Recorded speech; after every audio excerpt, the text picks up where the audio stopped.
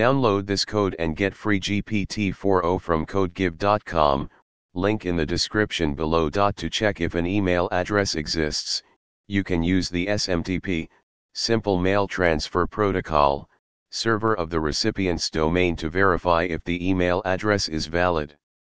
Here's a step-by-step -step guide on how to do this in Python.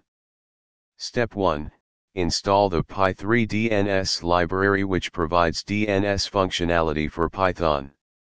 You can install it using pip.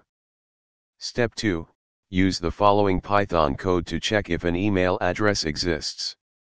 In the code above, we defined a function is underscore valid underscore email that checks the validity of an email address and then verifies if the email address exists by connecting to the SMTP server of the recipient's domain. Please note that this method may not work in all cases, as some email servers may have security measures in place to prevent this type of validation. Additionally, it's important to handle exceptions and errors appropriately in your code.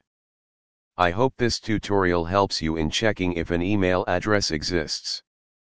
Let me know if you need further assistance.